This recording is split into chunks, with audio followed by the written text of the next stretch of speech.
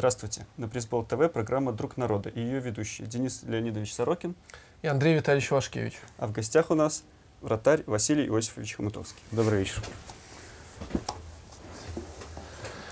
Василий, прежде всего хотелось бы узнать, с кем нам сегодня держать разговор. С футболистом Василием Хомутовским, с комментатором Василием Хомутовским, с человеком, который определяется по дальнейшей судьбе. Собственно. Ну, давай так начнем с того, что комментатор это было просто разовое, ну не то, что разовое, так можно сказать, э, э, эпизодически. То есть это было просто вот так временно, что я оказался в Беларуси и вот пригласили э, несколько раз высказать свое мнение, начиная с чемпионата мира, вот какую-то, про что-то проанализировать. Поэтому это все было больше как такое, как дополнение, хобби. Футболист, вратарь.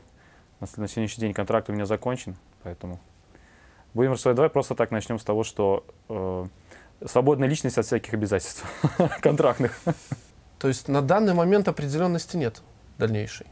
Нет, контракт закончен несколько дней назад, и поэтому э, пока, скажем, скажу так, в футболе определенности у меня нет.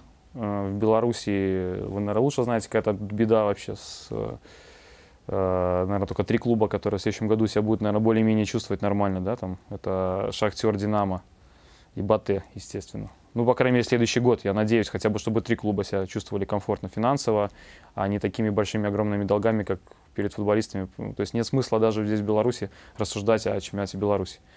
Что касается из-за границы, то я уже, я поэтому и вернулся через 13 лет в Беларуси, потому что уже по семейным обстоятельствам. И сейчас э, куда-то уезжать, но это нужно очень хорошо подумать, стоит ли. То есть вопрос тут не финансовый, а больше вопрос э, семейный. Есть шанс, что ты завершишь карьеру этой зимой? Но я думаю, что... Давай не будем забегать вперед. Если я решу, что хватит, я вас поставлю в известность. Ну. ну, а твое комментаторское хобби, оно с чего началось?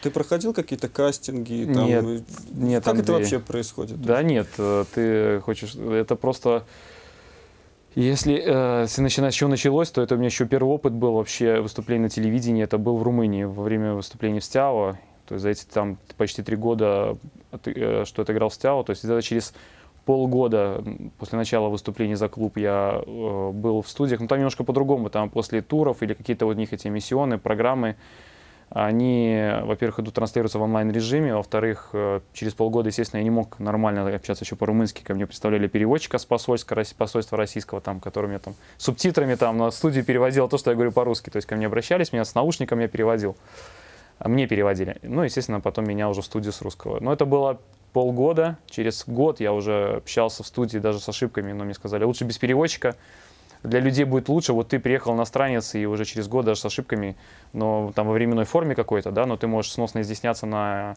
на румынском языке, то есть практически как итальянский, вот они очень похожи там. Румыния это бывшая колония Римской империи там. То есть они там на 75% итальянский язык. Поэтому был интересный опыт. То есть там немножко другой формат, там такой диван, и легко, непринужденно. Вот если обратить внимание, наверное, как вот итальянцы, и румыны копируют где-то итальянцев, в принципе, что менталитет, что вот подача, там, поэтому первый опыт там. Потом уже, естественно, там э, в Германии был, но это местный региональный ТВ, там, но это был тоже как бы больше в студии, какое-то общение там. Ну а уже вот, ну и там в России, там в Перми у меня был такой опыт, тоже там местное телевидение. Вот. Ну и потом уже, когда вернуться снова в Румынию, естественно, уже когда за Петролу, когда там вот и кубок выиграли, то есть там уже, естественно, опять вот э, был такой опыт у меня выступления. Поэтому в Беларусь вернулся, в принципе, со своим каким-то вот, приехал, у меня было вот э, такое отношение э, немножко по-другому к эфиру, должен быть легко и непринужденно, и я надеюсь, что здесь кому-то понравилась та манера подачи как и, и анализа там каких-то ситуаций футбольных, которых по ходу там чемпионата мира или игр там Лиги чемпионов или сборной Беларуси, как я там анализировал, комментировал, я буду рад, если кому-то понравилось. Отслеживаешь каким-то образом реакцию? Нет. В интернете? Нет. То есть просто потому что неинтересно или потому что считаешь, что ну, оценка дело субъективное и всем любят? Второе, оценка дело субъективное. Э, для меня важно свои ощущения в первую очередь. Наверное, как вот и, как, наверное, как у футбола, как и в футболе после игры, у тебя есть ощущения после игры, да, ты можешь э, первое, первое есть ощущение после матча, да, и есть потом проанализировав матч, можешь себе э, уже там на следующий день проснувшись, ты, у тебя будет совсем другое ощущение, там, может там вообще не спать до утра, но там проанализировать, и совсем будет другое уже восприятие прошедшего матча. Так и какие-то вот на телевидении, когда меня приглашали на какое-то что-то комментировать в студию, то есть первое ощущение, да, одно, потом ты проанализируешь, видишь какие-то свои там, ну, для себя в первую очередь, э, недочеты или наоборот какие-то моменты, которые хорошо среагировал, здорово там ответил, там, и для себя делаешь какой-то вывод там. И в первую очередь это, в любом случае анализ это э, всегда это хорошо, даже если это анализ чего-то негативного там, это хорошо, но это в первую очередь потому, что оно дает, э, скажем так, базу для того, чтобы прогрессировать. Вот я наговорил, да? Да, ты провел параллель с футболом. Это понятно. Ощущение это, конечно, здорово, но в футболе есть главный тренер, который в конечном итоге говорит тебе, здорово ты сыграл или нет.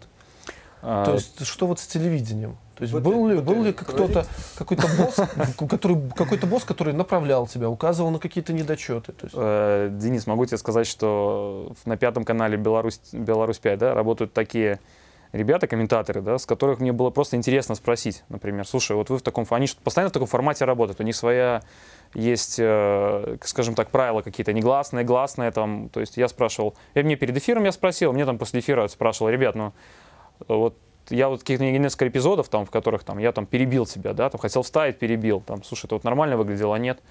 Нет, все хорошо, да. То есть я мог, мог какие-то нюансы такие спросить, в первую очередь, для себя. Но мне никто там не говорил, давай сядь и проанализируй. Потому что в первую очередь я э, не профессионал, я любитель в этой сфере, и поэтому я приходил туда э, в первую очередь как э, человек со стороны. И у меня подача, там, я могу ошибаться там в произношении, там, там, ты можешь сказать, там, понимаешь, не, трени- не тренера, а тренера. Да? Но это подача, это называется профессиональный сленг футбольных, да, то я уверен, что вот, например, э, с Девятковским нашим олимпийским чемпионом в курсе, если вы в курсе, он, мы были с ним в студии, когда на дело принципа, он тоже сказал тренера, потому что это профессиональный сленг, и никто ему за это ничего не скажет, потому что в первую очередь, ну, это, это нормально, мы профессионалы, мы спортсмены, у нас есть свой какой-то сленг. И поэтому, ну, это, ну, это, скажем, как фишка, не более того. Воспитанник столичной спортивной детской юношеской школы Олимпийского резерва «Смена». Профессиональную карьеру начал в 17 лет в Минской «Атаке», после чего сменил почти полтора десятка клубов. Причем с 2000 года до лета 2013 выступал за рубежом, в том числе за румынские «Стяуа» и «Петролул», немецкие «Вальдхоф» из Манхайма, «Карл Цейс» и «Аугсбург», украинские «Металлисты» из Харькова и Таврию, российская «Динамо» из Москвы, «Том» и «Амкар». Полтора года назад вернулся в Беларусь, подписал контракт с «Торпедо Белаз» из Жодина. Есть любимый комментатор у тебя? Комментатор, любимый. Ты сейчас хочешь, чтобы я сейчас кого-то одного назвал, да? Ты знаешь, не, три, не, нет, я могу сказать, что на Беларусь 5 со всеми ребятами, с кем я общался, у меня с ними э, что в студии, что вне ее отличное отношение, и мне было приятно с ними общаться. Видишь, как Ну, тебе банально я ответил, Ну, либерально. это, это ведь с точки зрения общения, ну, а как потребитель продукта? Вот ты включаешь телевизор и говоришь, вот мне нравится, вот как комментирует. Комментатор такой-то. Может быть, с, э, с НТВ Плюс кого-то, из России, С с, румынского РТР, телевидения. с румынского телевидения, может быть, запал тебе кто-то. вдруг. Нет, ты знаешь, могу сказать, что я никогда не обращал внимания, вот ты меня сейчас спросил, я никогда не обращал внимания, кто комментирует. Довелось ли встретиться на телевидении с какими-то, может быть, ну, скажем, цензурными просьбами, там, ну, не сильно критиковать, не сильно, ну, Ты не, не представляешь, не было. Э, не было вообще никаких там просьб. Там, ну, естественно, ты же, мы взрослые люди, матом не ругаться, ни на кого не бросаться. Но если шутка, э, если серьезно, то, ну, наверное, как и любой там, э, какие-то вот у нас на телевидении, что я для себя обратил внимание, то, что мне не было, а, например, в Румынии, да, потому что, я же говорю, немножко другой формат общения, там можно сесть на диване нога за ногу, где-то там, а у нас там как-то там положение там тела должно быть примерно там какое-то, то есть ты не сядешь ну, там вальяжно. Ну вот единственная какая-то там разница может быть. То есть рано или поздно, когда ты нас известишь, ты закончишь карьеру. Насколько серьезно для тебя вот это телевизионное хобби? А, ты знаешь, если я закончу карьеру, э, вряд ли я э, буду считать себя э, морально правым идти на телевидение и что-то комментировать. Потому что, чтобы что-то анализировать, да, там, например, нужно быть э, в курсе. То есть у меня есть багаж, опыт того, что э, наработан там, да, там, в Германии в, Ру- и в Бухаресте, в Румынии. Слава богу, я там с хорошими европейскими тренерами работал, и в Румынии тоже. Люди, которые с огромным опытом там, фу- игровым, там, уже перечислять не буду, там, и просто что с этими людьми, э, как сказать, то есть я от них учился. И, например, ну если я закончу с футболом и получится, что меня пригласят на телевидение, скажут, вот приди прокомментируй. Ну как я могу, если я... Футбол все время движется вперед. И я то, что было еще два года назад, не факт, что вот сейчас это будет актуальным. Потому что это у нас может быть там. Я не, не хочу обижать наших белорусских тренеров, тренеров, тренеров, тренеров. Они все живут, у каждого там свои критерии, свои, какие-то свои там видения футбола. И я там, в каком они веке живут, это их жизнь. Это их дело. Я там, или десятилетий. А, поэтому могу сказать, что два, то, что было два года назад, не факт, что это будет, будет актуально сегодня. Но вот так вот европейский футбол, там нюансы тактических перемещений, там нюансы подачи, даже просто там в тренировочном процессе. И поэтому потом я не вижу себя как бы, ну, морально правом приходить и что-то говорить. Вся армия, скажем, экспертов там на английском телевидении, итальянском телевидении, то есть ты думаешь, ну, бывшие футболисты, которым mm-hmm. уже много-много лет, и которые очень ну, да. не имеют, скажем, соприкосновения точек с футболом, кроме как вот телекомментирования. То есть они... Ну, ты же сам ответил, Денис, на свой вопрос. Они же живут в Англии, они все время в этом кругу общаются, они же все время имеют контакт и сами все это отслеживают. Хорошо, у нас же развивается белорусские телевидение в отношении белорусского футбола. Будешь комментировать белорусский если... футбол, живя в Минске? Но ну, я немножко с другой, э, знаешь, могу сказать, что мне трудно перестроиться на белорусский футбол в плане его восприятия. И понимаешь, то есть уподобляться я не хочу. Вот я такой, какой я есть, я 13 лет, меня не было в стране.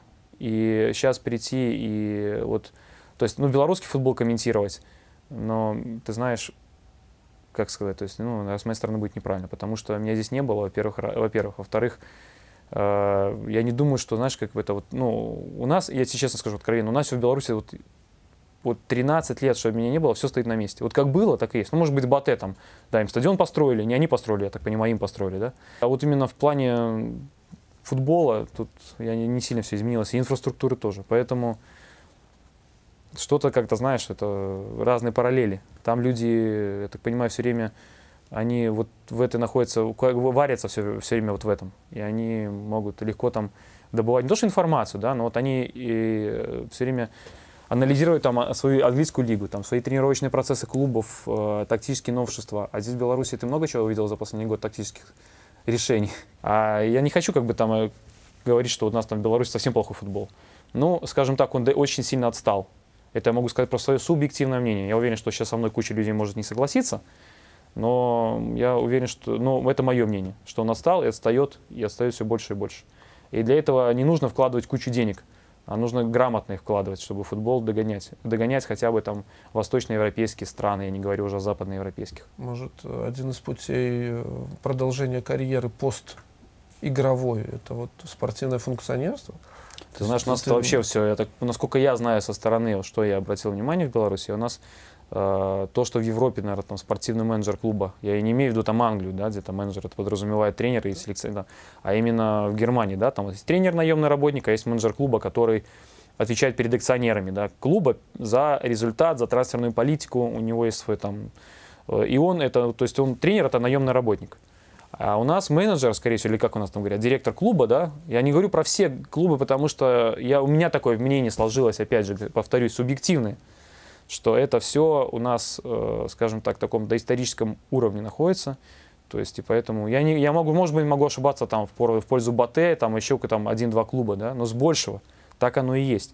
Что это все находится в, на таком уровне, что, знаешь, там надо все поднимать с нуля и вообще людям менять голову. Ну, менталитет, в смысле.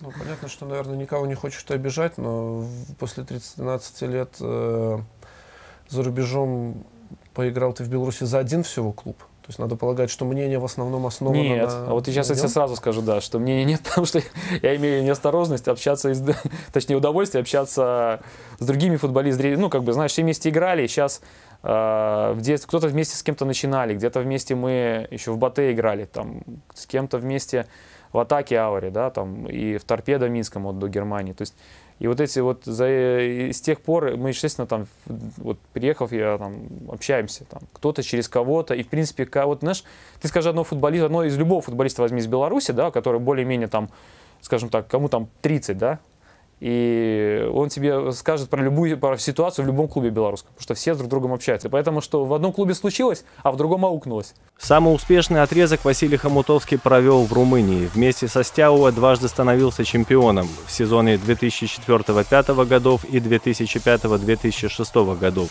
Участвовал в групповой стадии Лиги чемпионов и Кубка УЕФА сезон 2005-2006 годов.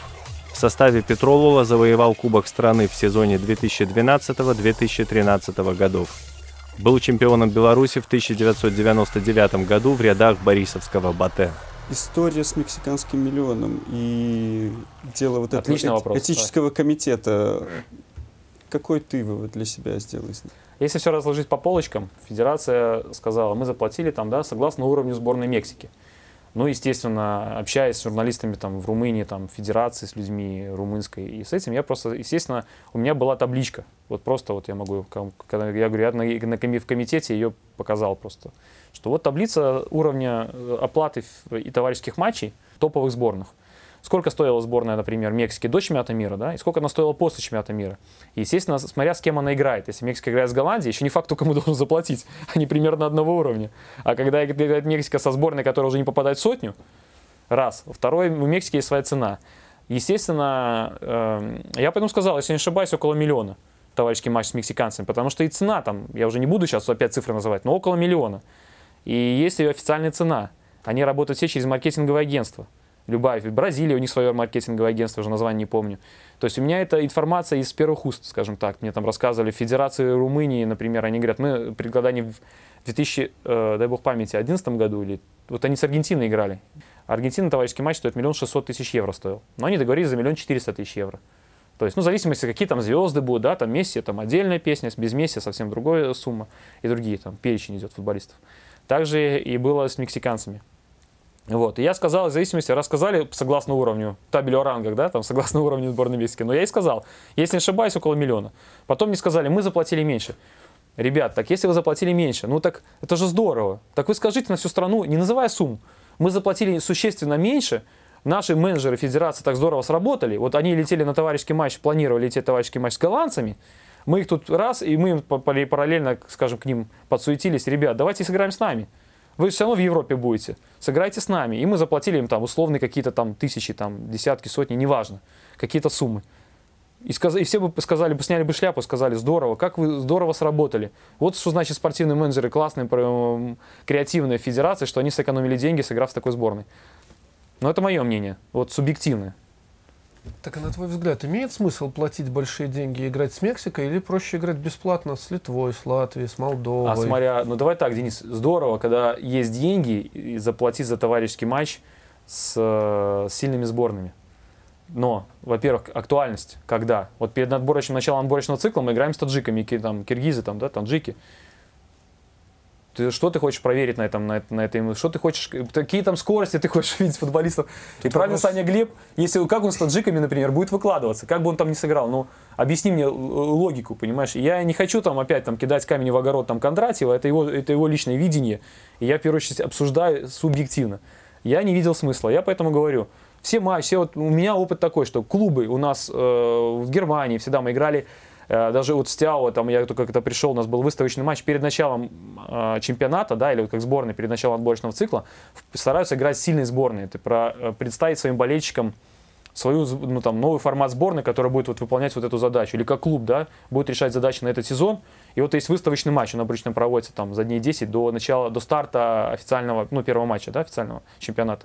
И приглашается какая-то сильный клуб то есть из другого чемпионата. Там, вот мы там серия А, у нас Тяо был любитель пригласить серию А команды. И мы все время перед началом дочного цикла играли с командой серии А на своем в Бухаресте, на своем стадионе, перед переполненном, переполненном стадионе перед своими болельщиками, презентация команды, состава вот на чемпионат. И это здорово. И это есть смысл, и команда, ты понимаешь, играешь на других скоростях, другая скорость мышления.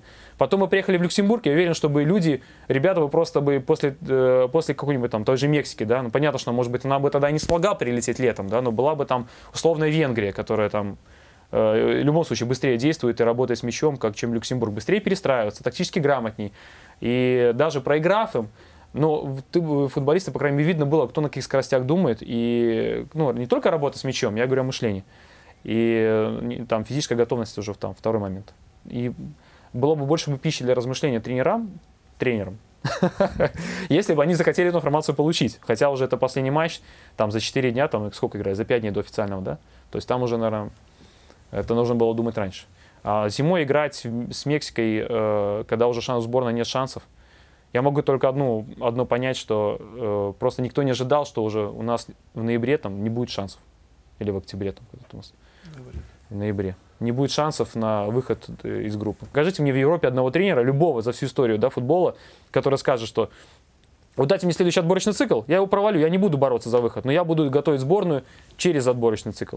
И через отборочный цикл, да, наступает новый цикл, и после четырех матчей у сборной нет шансов. Ну, вот интересно, а, ну, во-первых, человеку дали, получается, сколько это, да, два, два года, да, или там сколько он отработал, Кондратьев, ну. Поэтому, ну, это, я говорю, я э, просто анализирую субъективно, вот, это моя позиция, что сборная должна результат, повторюсь, я уже это говорил на телевидении, давать результат сегодня и сейчас. У сборной нет понятия завтра. Есть понятие завтра, но это должно быть настолько тонко и аккуратно доводиться. Вот молодой, когда он футболист, там не искусственно водиться, потому что он моложе кого-то, да, но если он слабее, он должен сидеть на лавке и ждать своего шанса, да, играть за клуб. Ты можешь его выпускать на замену, там, выпускать в товарищеских матчах на тайм, когда играет сборная, но когда он уже, по крайней мере, на одного уровня с опытным футболистом, тогда ты можешь обосновать. Они одного уровня, но этот моложе, у него есть больше перспективы, я его поставлю. Но когда этот еще слабее, нельзя искусственно ослаблять сборную, потому что сборная – это цвет страны. И нет такой условности, дайте мне этот отборочный цикл провалить, а, ну, там, грубо говоря, мы будем играть готовиться на следующий отборочный цикл. Но я считаю, это неправильно, потому что сборная и, и так теряются болельщики, самое что страшное. Теряются болельщики, которые э, приходят болеть за свою сборную. Когда он придет, скажет, да, у нас в этом отборочном цикле нам ничего не светит. Да мы все равно тут мы уже готовимся на следующий. Ну так давайте мы следующего подождем, тогда и придем на трибуны.